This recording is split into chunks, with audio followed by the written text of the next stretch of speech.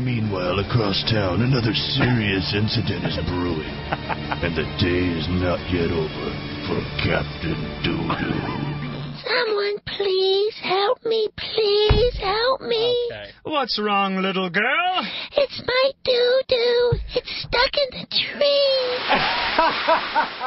Did I hear someone say doo-doo? For I am Captain Doodoo. Captain Doo-doo, help me. My doo-doo is stuck tree. No problem, little girl. I'll fly around the world at the speed of sound, several hundred times, reversing the polarity of the Earth, thereby moving us back in time to the point where you still had your doo-doo.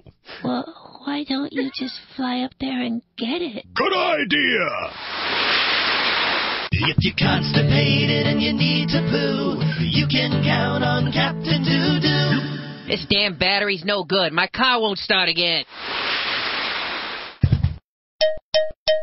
Did someone say doo-doo? No.